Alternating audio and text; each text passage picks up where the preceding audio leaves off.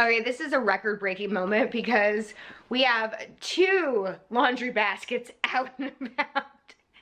And within them contains three loads of laundry that I've been avoiding folding. So let's get to it. Hello, welcome back to another folding and story time. Today we're folding on a Friday. Kind of love a Friday folding sesh. How are you guys? How was your week? Uh, if you want to join in on the folding party, pause this video and head on over to your pile of laundry or really like any chore you've been putting off for a while. This particular folding series is all about just like letting me talk your ear off, keep you company while you attack and approach a chore that you dread. And you, this is out of control. As you can see, I have, I, I just, I simply dread this task. Uh, today, Corny isn't here with us, um, which is really sad. I hate when she's not in these videos because I feel like she's the highlight of the videos. Um, she is with my mom because mom and dad are going on a date tonight and it is official I we are going to be mom and dad. So we're gonna uh, soak up all the date nights we can while we can uh, while it's a lot easier. Um, and so very much looking forward to that. So today if you guys somehow missed it I did an announcement on Tuesday that we are having a baby. I'm with a child. Um, it's so funny. I put that up on Tuesday and then subsequently I put up like pregnancy themed videos Wednesday, Thursday, and today. And every time there's like a handful of people that are shocked to find out because they must have missed the videos prior. So I will leave the link to the original announcement uh, down below in the description if you want to get all caught up on that. Um, so today I thought it would be fun since I am into my, uh, yesterday marked sorry, uh, yesterday marked the 15th week, I believe. We're into the 15th week. Um, and so since I obviously am just now sharing this information, I thought it would be fun to kind of go back and give you a little bit of backstory on uh, how this all began. the birds and the bees, if you will, um, and how things have progressed since then. So today, uh, let's chat about the day we found out we were pregnant which I remember very, very vividly. Um, before that, I guess I should give a little backstory on our decision. We, Jeff and I are, um, are both older.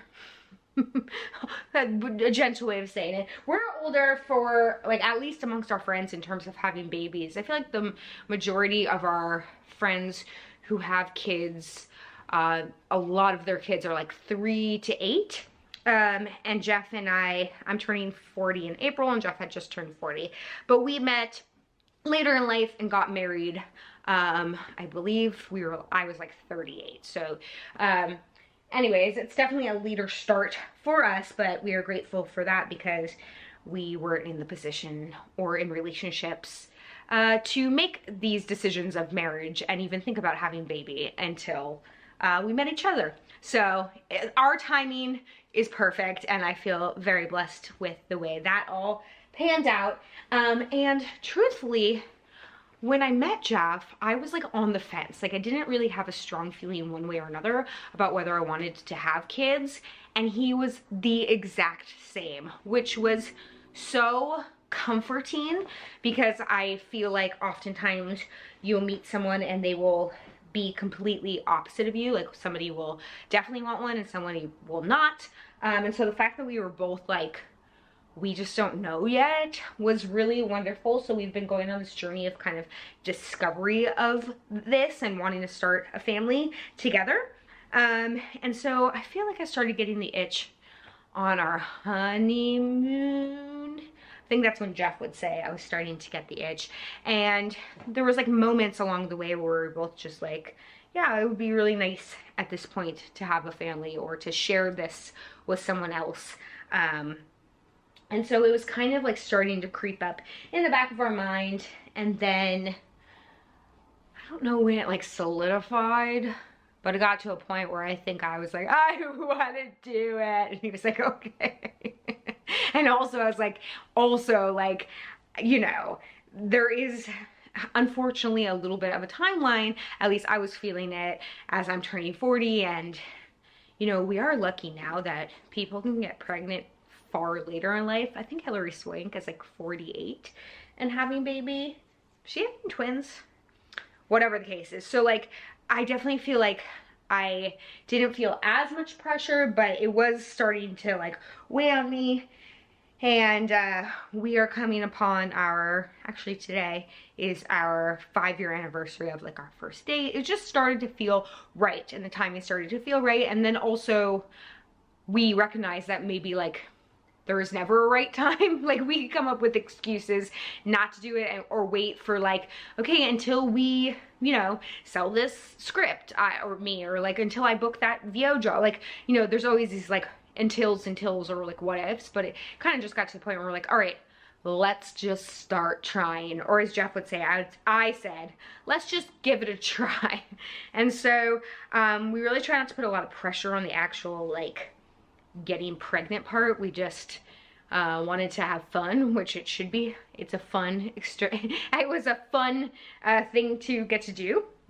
Um, at least at first. This is all just my experience, by the way. I know, like, and I will continue to preface this, and if I don't in each and every video, please recognize, um, and I said it in our announcement, that like, everyone's journey is different, and I know so many people suffer from not being able to get pregnant, or um, continuous miscarriages. I mean, there's so much to consider in terms of other people's experiences and I never want to take that for granted or make you feel that I am not aware of that. So all these things I'm saying are just like specific for us. So thank you for keeping that in mind. I feel like you guys like know my heart and um, where I'm at with all that, but like it bears repeating. Um, anyways, what was I saying? Okay, so yeah, we were like, okay, so then one of my dearest friends um, is a nurse practitioner in the OBGYN office and she's just been like my OBG, OBG, OBG, I don't know why it sounds funny, uh, forever. She, I obviously now have another doctor, but she would do like my pap smears, etc. So she was like an instrumental part in sort of guiding us in timing because contrary to what I thought, it's a whole lot harder in terms of like timing it out with your ovulation, blah, blah, blah, blah, blah. So she was like, hey, get this app and just like follow it along according to your period, like when your fertile days are. So the first month around, I was like, game time, Jeff, let's do this. And then I got my period and I was like, oh. And then I looked back and realized in the most least of fashion, I did the math wrong. So I was like completely off on the week of extravaganza. And so that was my bad.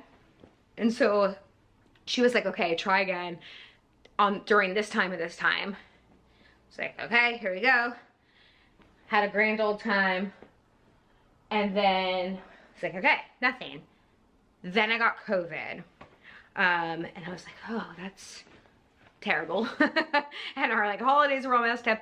Anyways, so then it, it, we're coming up to when my period's supposed to come and it's not coming. I'm like, oh my God, maybe this is it, maybe this is it. So I'm taking the test, but the tests are saying like absolutely, absolutely not, you're not pregnant. And I'm like, this is really confusing oh, maybe the reason why it's saying that I'm not pregnant, it, or maybe the reason why my period is late, rather, is because I just had COVID. And I know that, like, especially when you get, like, there's like some studies like women who got vaccines like their periods were off and then there was some correlation according to my friend with like um, if you actually had COVID with your period being off. So I was like, that just like must be it. However, I'm pretty regular and like pretty consistent. So it was a little bit like weird, but I just kept each day. I think there was like three or four days past my missed period where I was like, something's so weird. Like, why is it saying I'm not pregnant, but I'm just like simply not getting my period? But I wasn't having like any of your typical like pregnancy symptoms or like clues in like my boobs weren't really hurting like they say they were going to like all that stuff. Like okay this is so weird. So my friend was like just keep taking the test. So we get through I believe we got through Thanksgiving and then it was like the Sunday after Thanksgiving and we had planned to have this big football game with all of our friends and their kids in the park at like one o'clock. And so I get up and I'm like, still no periods. This is so weird. Well, I guess I'll just like, let me just take one more test. It was like the last test in the in the box. And I take the test and I look at it and I'm like, hold up. A very, very faint line appeared. Like so faint that I was like, I don't know, this must be like wrong. So I like wake up Jeff and I'm like, dude, I mean, I think so, but there's like a, it's like so faint that I'm confused by this. And he gets up and the most like Jeff way, he like takes a stick, he's like swinging it around, like looking at it, like aerating it. He opens the thing, he's looking, swinging the damn thing around. We FaceTime we're, we're like laughing, but like we're so confused. I'm like crying laughing because I think it's true. And then I'm just like, I think, I mean, I really do think that I'm pregnant, but like it's not like we see it in the movies. It's not like a clear answer. So we call my friend on FaceTime and she's like, yeah, guys.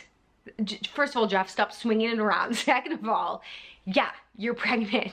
Congratulations. And we're like, what? Crying, laughing, like the whole shebang. And she was like, just go get a few more tests just so like you can be sure. But the reason why it's so faint is like, I guess the way I ovulate, whatever, I don't know, science. So Jeff goes out and gets more tests and uh, sure enough, it says that we were pregnant and we just kind of like cried and laughed in bed and then freaked out and then we're trying to remember oh and then we had to go to this like big thing in the park with all my friends including the friend that we had just called. And so obviously we weren't going to tell anyone because it was like so so soon like so soon that it was faint line soon. Um but, but like it was such a bizarre thing to be amongst all of our friends and their kids and like processing this thing. It was just so wild. And of course we saw my friend there and she was kind of giving us the wink and the nod, which was really cute. Um, and yeah, it was just like, I feel like we both kicked into like protective mode. Like I was out there playing football, but I was like super like, like trying to play like very um delicately and he was being like super protective of me and like I don't know it was just it was really fun and then trying to think like when we told our parents. I think we waited about a week so that the two of us could really just like sit with it and process it and enjoy it as just ours. Um, and then I think we just FaceTimed my mom. We FaceTimed my mom and she just cried and laughed at the same time. Was so happy and called my dad. I think we did it all over the phone because, you know, I feel like you watch all these videos of people like, it's like, you know, telling their friends and it's really fun, like in person, it's like really fun and everything. But I also feel like, I don't know, I'm just like a really sensitive person and I feel like I process information, even the good stuff in my own way and like putting the pressure on someone to feel or react a certain way um, to a news that I'm giving stresses me out. So we just like, we're like, you know what, let's just like call people. It's easier that way and then and then if we want to see them afterwards and celebrate or whatever the case is, it just gives them like a moment to process and think about it and feel their feelings. And then we can like get together. Does that make sense? I don't know kind of reliving this all again because uh, it feels like forever ago now. And then we slowly started telling our friends and then let's see, the holidays hit. So, oh, the craziest thing is that you have to wait like, I think it was like 10 weeks until your actual first doctor's appointment. That's like the most brutal time because you're like, well, I really, really, really would like to go to the doctor and like have permanent confirmation that this is like a go and that like baby is growing and baby is sticking. And again, there's so much like, um, that there's so much that can happen over that like time span, but like the doctor won't see you before then. So it's just this very like tentative time. But we just kind of like went with it and we're enjoying it. And I've kind of had this, I mentioned this before, like kind of just like hippie mentality about it.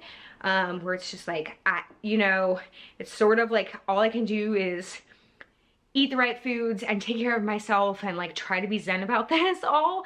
Um, that's the only control I really have over this. The rest is up to whatever you believe in um, and the bod and this baby that's, you know, um, coming through to the world. So I'm just kind of like hippie mama about it. And I've been really, really, really lucky. For those who are asking, um, I didn't get sick like at all. Like, uh, I, I, I mean, maybe it's gonna come. Like, I think I was nauseous like one day and it was so manageable. Um, so that was really, really cool. I never like threw up or anything like that. My main like symptoms were and still getting like super lightheaded. That's like the big one for me. Um, and I guess that's like a blood flow or blood increase thing. So I've been trying to like deal with the dizziness and that. Um, they kind of go hand in hand. Other than that, just mostly, like I have mentioned over and over again, and I just have begun talking about it, um, all my digestion stuff is like super off. Um, and like, you know, all the things that you hear about, like my skin was breaking out for a little while. I feel like I've gotten that under control. My boobs have been hurting. Like at first it was like out of control. Like I think in like week, you know, two or three uh, after finding out, it was like, those were the first things to increase and be painful. Um, and haven't really stopped being painful, especially in the morning after you're laying on them for so long. Okay, that's enough about that. Um, what else? Yeah, that's kind of it. I haven't had many cravings. Just kind of moving along. Oh, and being extremely exhausted.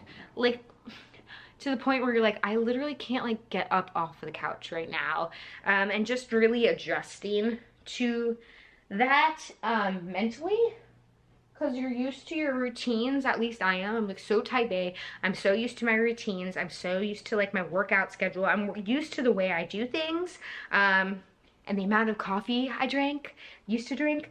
Um and so i think like the biggest shift more than anything was just like the mental head wrap around okay this is so exciting. We know that. I feel so blessed. All that. But then it's just like holy crap like not even when the baby comes, just like right in this moment, I need to change a lot about my lifestyle and like I have to just put baby first and I can't do things like I used to, which isn't to say I won't be able to down the line. But for me, like, again, as someone who like control is really helpful for me when it comes to my anxiety, I, there was a learning curve and will continue to be obviously um, on just how to how to handle that and how to kind of accept that my day-to-day -day routines are going to be completely different. So, I don't know, does that make any sense? I was trying to think what other questions, people were asking me some questions uh, that I prompted for this in yesterday's video,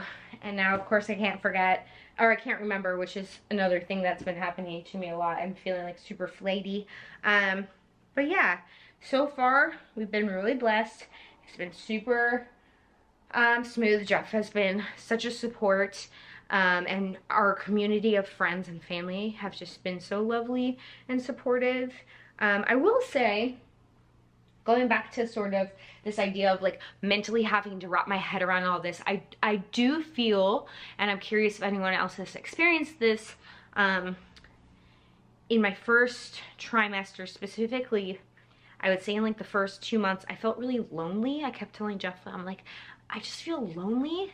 And I think it's because like, first of all, it's so early that you're not telling a lot of people. So you're kind of on this journey just by yourself, obviously with your partner, but like, and you're out and about in the world and like, nobody knows you're pregnant, but you're feeling a certain way and you're in your head a lot. Like you're spending a lot of time in your head. And again, you're adjusting to this like new routine, new body, new schedule, new symptoms, new feelings. Um, and I don't know, I like, and as much as like my friends that I had told were being supportive, it's just like, I don't know. I don't know how to explain it other than like I was feeling very lonely. And I felt like there wasn't like a ton of support available because like nobody really wants to like literally touch you in your first trimester because it's such like um um sensitive time and so like you can't like join a yoga uh, like a mommy yoga class or a pregnancy yoga class prenatal yoga class you can't go get maternity massages. Like you can't do any of those kind of like self love. Okay, that's like maybe a little hyperbolic. You can do self, you can meditate at home, you can exercise, you can, you know, what, you can do stuff, but like, I don't know, I felt like I really needed community, but it was like too early to really establish or find community. Um, and so, I don't know, I thought that was kind of an interesting uh, hurdle to jump. But now that I am uh, into my second trimester and now that all of you know, all my friends know, uh, we've gotten some confirmation after going to, we went to a specialist uh, to check on the baby since I am older. You get to go do that, which is kind of cool. So after we kind of got confirmation, I got my NIPT test back and everything so far has been looking good. There's, it's a little bit more like, okay, I'm part of this community now. I'm part into this new chapter. Um, and so here we go. Let's flow. And with that, I'm starting to like reach out to um, communities like doing prenatal Yoda, uh, Yoda, Yoda. I've never even seen Star Wars. Yoga, I'm gonna start doing that. And then also once I announced on Instagram, a lot of young moms, um, either that, you know, I've I'm friends with, well, I guess I told them my friends, but like peripheral friends or like, you know, old school friends or old neighborhood family friends um, have reached out and have offered advice or just support. And so, un very unlike me because I'm pretty like anti-so, not anti-social, I'm just like a homebody and like my friends are my friends and like I'm hesitant to step out of my comfort zone. Um, I'm actually reaching out to those kind of people, people, uh, mom, uh, young moms, um, people who want to lend a helping hand and I'm going to take people up on that. And like, I think it's good to cultivate kind of, um, a new community in some ways to help support through this. So anyways, that's really woo-woo and long-winded and I feel like I'm talking to my therapist. Thank you so much. Um, you know, feel free to bill me um, you might never see payment for that, but go ahead and send me that super bill. Um, yeah, so that's it. That's how things have been going so far. Um, trying to think if there's anything else. I don't know, leave some questions down below um, in terms of what you guys um, are interested in hearing in terms of questions, but also um, what you're interested in seeing as we start to uh, go along on this journey. I know this week was all pregnancy themed videos and I promise it won't always be that. Um, it's just, I've been waiting so long to share with you that it's like such a good, it's such a huge relief to be able to like fully be myself here and uh, share these experiences and do the daily vlogs of what's actually happening in my daily life.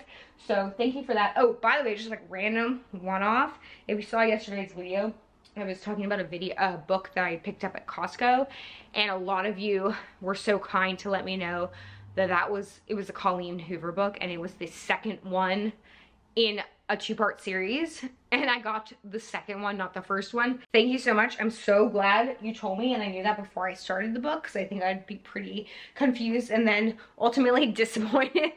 so I will go and pick up the first one in that book. Um, and yeah, I think that's it for now. I truly adore you guys so very much. Um, also, thank you for your pickle recommendations in yesterday's video. I love how passionate everyone is about their favorite pickle. It actually is like so funny to me and also so awesome. So I, will, I have written down a bunch of them and I will get moving on that. Oh my God, so much laundry. I'm gonna end this here, but know that I will finish. I will conquer that, and I will be back next week uh, for more. So have a fantastic weekend, y'all, and I will see you on Monday. Okay, bye.